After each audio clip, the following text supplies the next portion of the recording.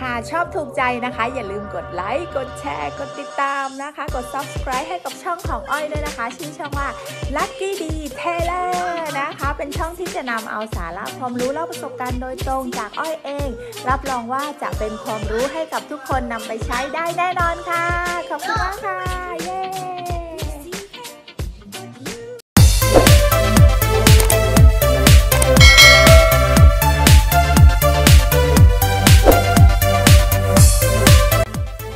ดีค่ะ ยินดีต้อนรับสู่ Lucky D Taylor นะคะ วันนี้อ้อยจะพามาชมบรรยากาศนะคะ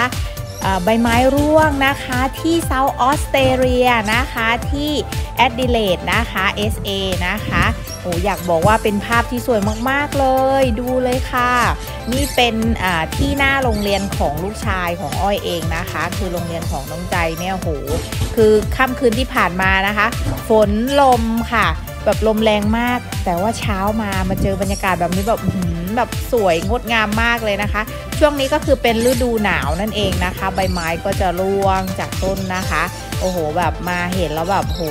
ไม่ได้ไม่ได้จะต้องเก็บภาพสวยๆมาฝากท่านผู้ชมนะคะ โหเรียกได้ว่าสวยมาก จริงไหมคะ เห็นด้วยไหมเอ่ย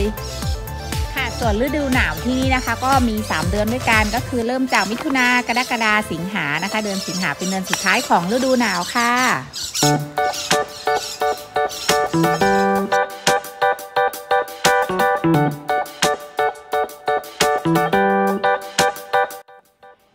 ค่ะก็หวังว่าทุกคนนะคะจะชื่นชอบวิดีโอนี้นะคะ ชมแล้วก็สามารถติชมกันได้นะคะ